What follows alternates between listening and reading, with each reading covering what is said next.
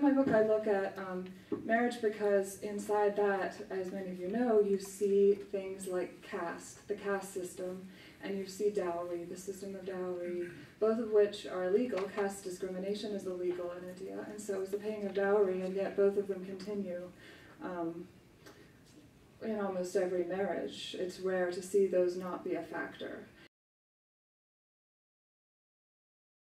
Um, so I want to just talk a little bit about one woman who taught me a lot about the importance of caste and whose experience really shocked me because I, you know, in rural areas, caste is very much a factor, you know, um, but in the cities, that hasn't necessarily always changed. But so when I met Radha, she came to um, be my maid. Uh, I quickly discovered that there was no way to get by in India without having multiple maids.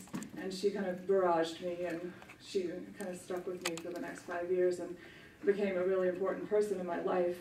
And um, she was a Brahmin from the highest caste on the Hindu caste system, but she was totally illiterate and a widow. So she was forced to work as a maid. Of course, she refused to work in certain realms, like she would say, go nowhere near the bathroom, go nowhere near the cat litter, which she thought was totally foul. And um, marriage for her was all about caste. She grew up, as I said, in a village in, Brahm, in Bihar, which is one of the least developed states in India. And she, you know, that was her experience a generation ago. But what really surprised me was that in the city, in the capital city of the world's second fastest growing economy, um, she wanted to do the same for her daughter. You know, when she was working for me, she started stressing about getting her daughter married when she turned 16. And the way that she was going to find a match for her daughter was through the pujari, their Hindu priest.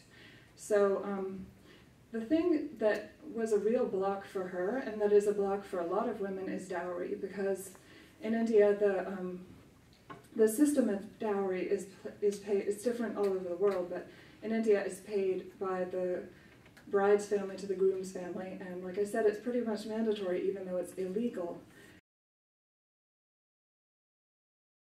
for lower income women, it's really, it can be kind of crippling, and that was how it was for my friend Usha, who um, she, Usha was the yoga teacher at the little dinky neighborhood gym that I started going to in my neighborhood in Delhi. And she came from a lower caste family. Uh, she was um, uh, from a pretty poor, poor family, and she was actually, unfortunately for her, she was the fourth daughter of four.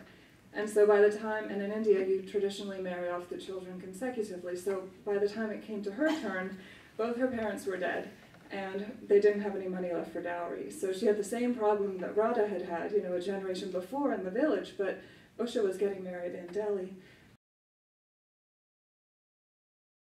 Gita actually did, her, she came from a family that they didn't have any dowry they had long had a system of not having dowries. So I should have said that. Yeah, I mean, it's just like you say one thing about India and the exact opposite is true. That stereotype is, you know, consistently, you know, follows me everywhere. So.